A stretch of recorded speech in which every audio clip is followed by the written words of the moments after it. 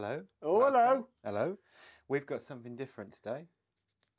The BMW Connected Ride Navigator. It's hard to see that. Well, I'm going to get it out of the box in a minute so you'll be able to see it. Because there's plastic on it. Yeah, there is plastic on it. So we've very, very kindly been lent this by Ocean BMW down in Falmouth, so we can have a look at it. It's a box opening. Ah. So in the box, what do we get in the box? So this is the replacement for the BMW Nav 6, yeah? Yeah, and this is, by all accounts, from everybody that I've spoken to, had nothing to do with Garmin. This is all BMW in-house um, from the ground up. Oh. So I take it there's no Garmin in here because playing around with it, it looks like the same maps that's on the connected ride. Is that Tom So that's TomTom, isn't it? Ooh. But was Other, it? I don't, yeah. other GPS We might well change our view of TomTom. I don't know. Anyway, so that's starting up, and it shows a BMW logo on it. Hopefully, it'll start up. We have charged it. Yeah. Oh, there, we you go. Connected ride, and then in a second, it'll say that you've got to swipe up. There we go. says no SIM card, so you can put a SIM card in here and have it running um, independently of a phone, which is quite good. But then you've obviously got to have another contract, Yeah. which is really annoying. But you've got to swipe up, and then you've got your navigation screen, and you've got your motorcycle. So when it connects to your motorcycle, you can find out the information on there. Um, media, phone, connectivity hub, rides, settings, and that's about it. So let's go to navigation. It's a nice screen, doesn't it? It's really Has nice. got a cover on it? At the No, I've taken it off. Oh, all right. But this is, it's got to be um, um, uh, TomTom, isn't it? Because that's that's not, it's not Garmin Maps, is it? But it's got the speed up there. I think that's for your your um, Orientation. Orientation. There, There we you go. It's found us, um, which is really good. Um, you can have it on different settings and stuff, and we'll go into that a little bit later. But what else do we get in the box? Let's look at the box. Oh, what there's- lives in here? There's map updates. I don't want to do map updates. Right. Not for the minute. Right.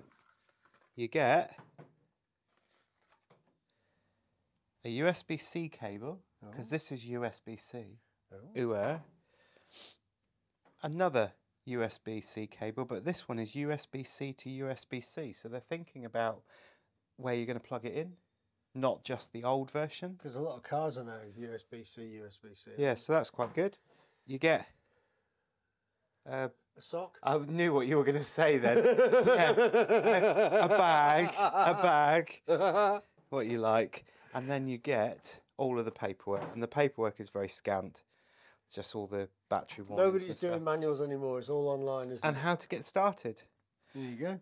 So the battery, so that when you when you look at the unit, it's very much Garmin, isn't it? Now, I think Garmin was. It's like a Garmin base, isn't it? Yeah, but I don't know whether Garmin was dictated to how they designed this from BMW as how they wanted it to fit, or whether BMW's evolved into we've taken on this preparation kit and this is how we want it molded, which then ended up being Garmin. I don't know. But it's like the Nav 6. Was this Garmin Zumo 660, wasn't it? Or something like that? Or Something like that. 600? Yeah, That's a Garmin base, isn't it? That's definitely Garmin. yeah, and then same principle as the Gar- uh, the Navigator Six. Unscrew those, and you've got your um, Battery. battery in there. Then you've got your USB socket. Can't get it open. Bear with See me. ya. Thanks for coming. Bear with me. Is that a toolbox that you got from? Uh, Apex 66. Apex 66 over there. 66. Yeah. Oh, there you go. hang on. USB C port. Hopefully, you'll be able to see that. Yeah. And then what else have we got on it? We've got nothing around any of the other edges, but then you've got an on-off button. So the SD card or the um, SIM card and all that sort of stuff is in there. Which is Garmin. Well, I th- I don't know whether it's Garmin had made these sat navs for BMW with Garmin's mount, but Garmin's mount has turned into being a BMW thing because every BMW with the sat prep has got this mount. So Yeah. have they moulded into one or was it BMW? But let's fit it on the bike. Da, da, da. This is Alvin. So this is Alvin. Alvin is my 2023 BMW RT 1250. That'll do. Yeah, it's got about 1800 miles on it already. Gee yeah. So it goes in exactly the same way as any navigator. It fits in the bottom and it plugs in the top. And then you can lock it in and it's there. So let's turn the bike on. Ah. I know. It's Make life a nice. ride. Now you see that it says that it's connected there. So that's really good. But Where does it say it's connected? It had it on, Oh, okay. on the screen. I was looking elsewhere. The only thing that I've so you've got the little indicator on there saying that it's charging, so it's all okay. So all the charge is running through the cradle as as it would normally be. It's telling us where we are, but on BMW GSAs, GSs, um, the old RTs and stuff that had the um, Garmin Navigator placeholder in there, you used to be able to press here on this menu button, press and hold up, and that would change your control from Go the from nav. TF, Yeah. TFT to nav, wouldn't it? This won't do it on a RT. And I think that's, I spoke to BMW and I think it's because they want people to use this rather than have that because you can't buy this for a BMW um, RT, the new ones. You can't spec it up with the prep. I've had to put the prep on myself. Although the clip is the DIN clip or whatever, um, not DIN clip, the CAN bus clip is all inside here anyway, all ready to be clipped See, in. it's weird, isn't it? They, they want. I mean, people would choose to have that Yeah. because I know people who've, who've been on tours with me with this and have struggled with it. Yeah. But you know, But I, I do like it. I mean, I have had a couple of times when I've trying, been trying it out that it has taken ages and ages to find a satellite um, signal. And I've had to turn it off and turn it back on again. I've been in the middle of nowhere or, you know, no that's it, isn't it? You're lost. Well, Here we are. we're out in the cold now. It's not really cold, is it? It's like 1.5 degrees, and we've come out so that we can show you what this sat nav is like In the cold. in a in the cold on a bike. So, what's it like? Oh, it's cold. And if you've got no hair, it's really cold. Have you got no hair? Oh, has the wig come off? it's in my helmet. Anyway, shall we have a look at this sat Look, here we go. Well, hopefully it won't go off. So this is the BMW Connected Ride sat nav or navigation device, isn't it, from BMW? It is if you tell me, yeah, because Yeah. look. You've seen us take it out of the box, and now we've got it fitted into In the Mark's- comforts of a warm kitchen. yeah, we've got it on Mark's GSA, all connected in, and we're going to hopefully Inside the BMW BMW preparation. Normal one, the normal one. For the nav 5, the nav 6. Yeah, hopefully we're going to be able to show you what it does without it focusing on our hand too much. So shall we shall we swap swap places? Okay. Is this us swapping places? Yeah. You What are you trying to say? You've got better fingers for TV than I have. Where are you going now? I'm going for a run. Right. So this is the navigator. So when you first started up, so let's turn your bike on and then it starts. turn it off. I've got a battery pack in there. So have I. We- We'll do a video about that. Yeah. Anyway, back to the GPS. Well, we want this to turn itself off so we can show people what it's like. So ah. let's turn it off. So let's power it off. And then it clicks in exactly the same way into your um, mount as the Navigator 6. Got a long slit there, two slits on the top. And it just clicks in and locks. Couldn't be simpler than that, can it? So let's start your bike, shall we, Mark? Yeah. Be running for about half an hour. Oh, God. so when we start the bike up, you get this symbol, the BMW symbol, which comes on, showing the you showing you that you've got power. And then you get this connected ride screen. Wow. But then you've got to wait just a little bit longer because then it flips to another quick screen, goes a bit dim, you've got the time, and then it says swipe to use. And when you swipe up, that's what you get. Right. tells that tells you that the bike is connected. So that's really good. So your wheel will work the sat nav, which is brilliant. Excellent. So if your battery runs down, Mark, I've got a battery starter in there to get you on your way. All right. Other than that, I'll leave you in the cold. All right. No, no hat. All right. You can always push it. It's only four miles. So along the top, we've got a little motorbike, a SIM card, a Wi-Fi symbol, and a battery symbol. And the battery symbol has got a little Z in it, which is, means it's charging, and it's dictated to by this little light which says it's charging through the bike. And the bike is, I think that's just the mode of transport you're using. The SIM card means that you can put a SIM card into it and have its own data. And obviously, it's got Wi-Fi, so you can connect it at home or to a Wi-Fi to update the maps and stuff. But this bit here is highlighted, and I can go in and out with the zoom wheel to get to the maps. So it's connected to the jockey wheel then. Yeah. Whatever you call it. Whiz wheel, happy wheel, Happy wheel. Never heard it called that. wheel of fortune. that came back, didn't it? Or it's coming back. So you can go into it and you can go by pressing right to start. We've got spot markers and we've got settings. So shall we first go back to the main screen? And all I'm doing is clicking left and right. Left to go back to the main screen and right to select it, up and down to go and select stuff. So let's start with the bottom one, shall we? Settings. So on your settings, you can have it connected to your BMW ID. If you, That's the connected app, is it? with the connected app, the same sort of thing that you Yeah. have. Uh, navigation, let's have a look at the settings. So you can change your map settings to perspective, north or journey. Oh. And I like perspective because then that shows you how you're moving. Map style, automatic. You can have it day or night, depends on what you want. I think automatic is really, really good. Then we've got map labels. You can change the in device language or in language of current country, which sounds really strange, but when you're riding around France, Spain, somewhere else that isn't in the same language as you, sometimes it's handy to see the same names that appear, especially if you're around Morocco and places like that, Yep. where those um, languages perhaps don't make as much sense when you see the letters as they do in your home country. So you can show traffic or you can turn it off. Does that have to be logged? Uh, as, if it's logged into the connected app, that will have that, will it? Yeah. Will, Yeah. that take data off your phone? It'll take data off your phone, yeah. Same as the Garmin and all of those sort of things. Then we've got auto zoom, you can turn that on and off. So when you get to a junction, it'll zoom into the junction and the lane that you need to go on. Always to. good to have that on. Really good, actually. Reverse zoom direction. You can turn that off and on. It obviously, the zoom direction is reversed there. Ah, whatever that means. Yeah. You can show your favourites. So if you have favourites like your home, I wouldn't suggest having that on there in case somebody finds your sat nav and they know where you live.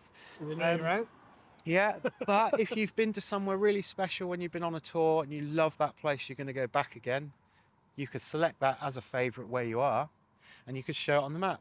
Show speed limits, which is really, really good. Show GPS warnings, so that's um, warnings about whether you lost the GPS, whether you've got it. Presumably, this is where you would get the settings for your um, speed cameras and that sort of thing, I would have thought then show active calls. So when it's connected to your phone, you can have the calls going through this same as you would on the now. Wait, actually, because that's duplicating what's on the TV on on the TFT screen. Yeah, it is, isn't it? A little bit. Yeah. So let's go back out of there. Navigation settings. Now you've got route options here. You can consider traffic, which would again take your data.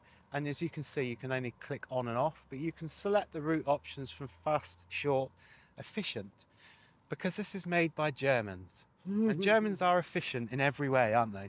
Fast So- and efficient are usually the same, though, in my experience. Yes. So it's probably fast, but you can also have winding and you can choose whether it's high winding, medium winding, or low winding. Your voice has changed. Have you come like you've got your posh voice on, or are you just cold? Yes. Ladies and gentlemen, we'll be flying at 40,000 feet. you can avoid highways, which is really good for some routes. You can avoid tolls and toll routes, which is really good if you're around London, around the M25. You don't want to get caught with that shizzle. Dirt roads. You can avoid dirt roads, especially seeing as though you've got GSA, Mike, Mark. Yeah. You might not want to go on a dirt road on No. your GSA. Avoid ferries. I highly suspect that you would get to the edge of the port and realise that you were there before you needed to avoid it. Some However, you can avoid it. and then you can avoid tunnels as well, which is really, really good. Spoken instructions, you can have the frequency at max. So this is going to tell you all the time what's going on. If you Can you have it at never? Yes. Oh, excellent. Which is how I use it all the time, actually. Media during voice announcement. What, you which- haven't listened to, you, you have it switched off? Oh, I never have oh, them speak. Oh, I can't bear it. Couldn't No. bear the thought of it talking to me. you can have media during voice announcement, which is really good because lots of people listen to music, but when the lady or man or whoever Whoever. speaks to you, it reduces or cuts the music out, and you can change that to reduce or off. So it will lower the music so you can listen to the uh, instructions and then put the music back up again. Issue spoken instruction even. Even, Yeah. even if. I don't know whether that's odd or even, but you can only click it on and off. Bit strange there. Navigation information, you can have arrival time, delay, duration, distance, all your waypoint stuff. Delay, all that sort of stuff. Which is what it used to be to get on the bottom of your screen of your nav. Yeah. six? So if I just whiz back quickly to Something.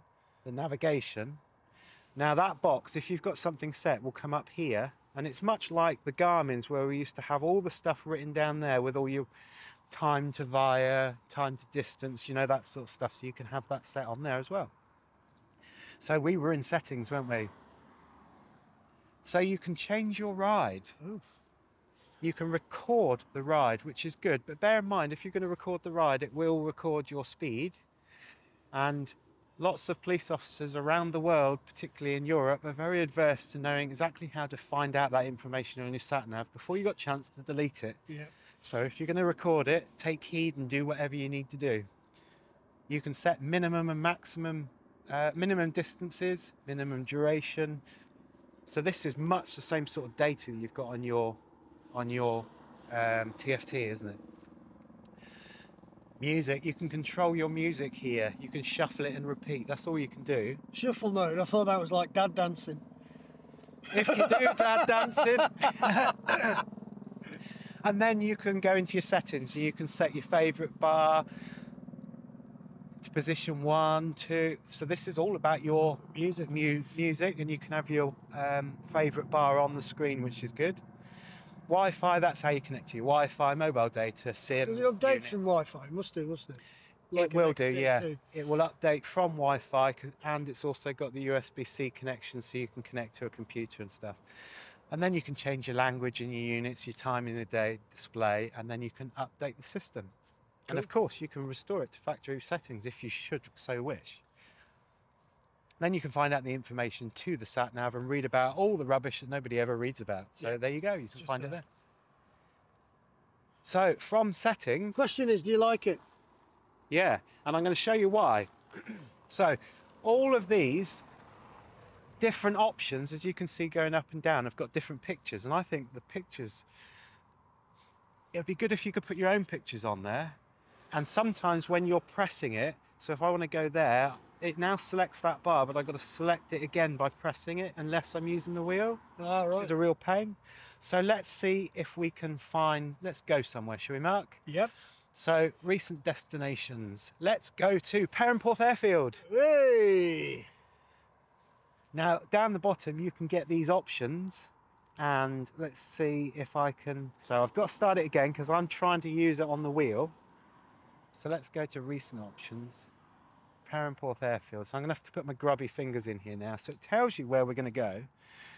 This button here will allow you to use the address as a start point or destination, which is really good. So you can work out a route and then you can change things around. So I'm going to use it as a start point, I think. No, let's go back and start again because we want to add a few things in, don't we?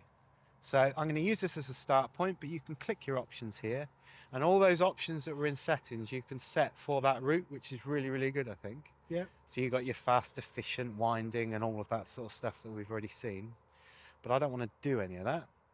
I want to go and go. Now, do you remember the options that we could put in there about time to via, time uh, distance. there, isn't it? That's what these will be. Oh. Along the top, it will give you your next um, instruction. Yeah, yeah. Your next turning or Yeah. roundabout or whatever. How long you're going to be there, what the speed is, 400 feet. where north is, what time you're going to be there, how long it's going to take, and how far away it is. It's really good, isn't it? Oh, I like that. So if I click right on my button, I can get to the active route guidance. I can end it. I can spot mark or I can go into the settings for that route. So if I go into here and put a new waypoint and I want to go to a recent destination, which is going to be St. Mawes. it's going to be a really random route. So now it's going to take us to Perranporth Airfield via St Mawes. Now, if you know the geography in Cornwall, that's really quite difficult, isn't it? So I take it if I hit this one, it's going to show us the whole route. So it's going to go from one side of the coast all the way to the other and then back again. But what I do like about this, now watch this, this is really funky. Look at that. Look at how quickly Oh, I'm feeling sick. No, I am. Now- I'm in the sea. if I press this, it will take us back to where we are, but I can zoom in and I can zoom out with the whiz wheel. That's cool. See if we can go right out. That's as far as I can go out, so 20 miles out. But I can go right in and then it will change its perspective again. And as you can see, look at this. I love it. So let's say we want to add another waypoint in and I just want to do it there. Can I just add something? So no. So you have to go into here, into here, and then go down to new waypoint Yep. or alternative route. So let's see what it comes up with. Oh God. No, that is So- an, that is a massive alternative route. However, that's putting in a nice, some nice bends there. That really is, isn't it? So from that, all with the whizzy wheel, you can see that blue, purple, and and Great. like greeny turquoisey. Okay. Oh yeah. So it's actually highlighting what it is, telling you how far and how how far in k, because this is set up in kilometres at the moment, and how far in time. So you can go and select any one. Now I'll do that one now, but see how quick it is. That's interesting. Oh, it's minutes. Yeah. No, no. It's, that's doing it in miles. Oh yeah. And when it- you put that route in, Yeah. it out in kilometres for some reason. that's very strange. But, But that's the setting we've not done. see how quick that was to set. That's amazing. Even the XT is slower than that, isn't it? Yeah. Now from there, I can go in and we've seen that we can add different waypoints. I can end it. I can skip a waypoint, which is really important for lots of tours that we do, isn't it, with Magellan. I can spot mark.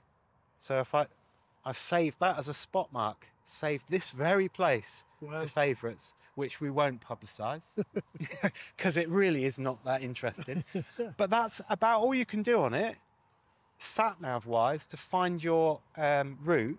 But you can um, import GPX files on there. There's slightly few different things that you need to do with the GPX file to get it to show as a route with waypoints that we found. But that's the same as the connected rider. We might well do a, a, video on that at some point. Yep. But what I'm really impressed with is look at that. That is so Yeah, quick. Yeah, but even the XT doesn't do that. And you can zoom with pinch and zoom. Look, It is impressive. it really is good. Having your phone connected and your headset connected to it brings that possibility of the multimedia stuff because there's a hub in there, so it kind of hubs everything together. But this also gives you the information from your bike, doesn't it? So mm-hmm. let's get rid of that. Let's go back out. This is all with the Whizzy wheel because we've got the information. So now, when Mark rides, we know what angle his bike's going to be at. Massive 9%. Don't want to go any further than that. It's on the side stand, everyone. but hitting right on the whiz wheel, I can go into the lean angle. I can put a compass on there. Now, for some people, using this as a compass is a something that they would do. I wouldn't ordinarily. Onboard computer. Now, this is the thing that everybody seems to be really wanting on the Nav 6 for some reason, and yet it's all on the TFT. I don't understand it. I really don't. But anyway, but you can get your range on there, your MPG, only 42.8 miles per gallon, Mark. I'm rubbish. Oh. Your oil levels, your um, tyre pressure monitoring system, how long it's got till service, your battery, your odometer. And you can also reset it. I'm not going to reset it, Mark, because I don't know whether it will reset your whole bike, cause it to catch fire, and then we'll all walk off. But I think the unit is a very, very good little unit. I like it.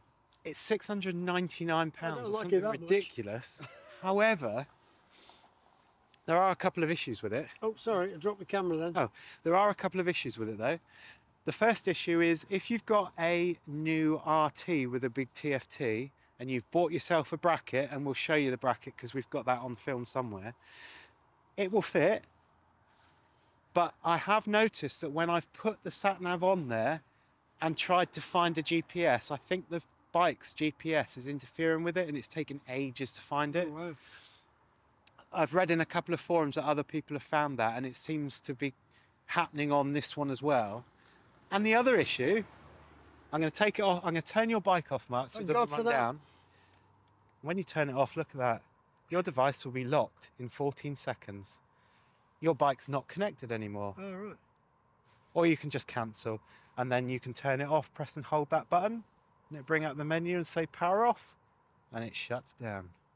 But come with me to Barney. Barney, Barney. Now, Barney, my beloved RT, has got my XT fitted at the moment. Now, if you have an RT 2014 up to about 2020, I think, before they put, might be 21, 22 actually, before they put the TFT screen on, Yeah. the sat nav will fit in a moulded bracket like this. Oh, that's rubbish. but this won't fit in. So you'd have to space this out and then you would lose the functionality of that button, which just pushes that clip anyway, to clip it on, which I think is a bit of a. BMW have made a massive mistake there because a lot of people don't want to buy this for these bikes. I think. Oh, I'm only putting that back on. I think that BMW have made a big mistake there because people on not necessarily Barney bikes, they're the best bikes in the world. That's a great bike, but this one's better. What do they say? There are many like it, but this one is mine. watched Metal Jacket Yeah. recently.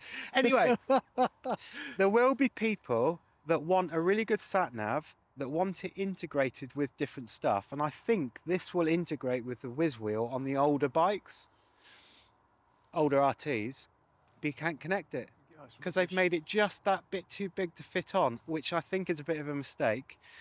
It's really quick, it works really well, and it's really good at navigating. And the spoken word is really good. If you've got a BMW car and you've ever used their sat nav, this runs the same sort of thing. It is TomTom. We might well have to reevaluate our thoughts on. TomTom, but it's TomTom and it works really, really well. And when I went up to where did I go up? Swindon, London, around there. I used it for a bit and it sent me off different ways, the same as the XT was trying to do, and Google Maps. Really Might quite be good. something to do with waypoints and shaping points on the Yeah. map app for the map data. I don't know. And if you do want to know about app uh, about waypoints and shaping points, there's a forum somewhere for you. Yeah, not no, this one, because it's so complicated, and we don't want to be hit, filled with hate against us for getting something wrong. But really, really good unit. It's expensive, but if you have got a GS, a GSA, something like a 750 GS, 850 GSA, something with a, the BMW preparation that sits separate to the integral RT thing, you, I don't think you'll go wrong with this. I think it'd be really good. £699, a lot of money. Good bit of kit though. So if you like the video, give it a massive thumbs up. You give it two thumbs up if you want. I'd put my thumb up, but they're about to snap off. With Yeah, mine's cold. Hit the subscribe button. Sorry for all the sniffing, but it is like one degree out here. But we wanted to be somewhere that our addresses didn't show up on the screen. it's the second time we filmed it. So go out and get yours if you want. Um, tell us how you're getting on in the description. We're going to play around with it a little bit more. Um, but then we've got to return it because Ocean were Mm. very good and lent it to us so that we could evaluate it, look at it, see how it works, run through the system with you. Um, so yeah, we'll see you in the next video.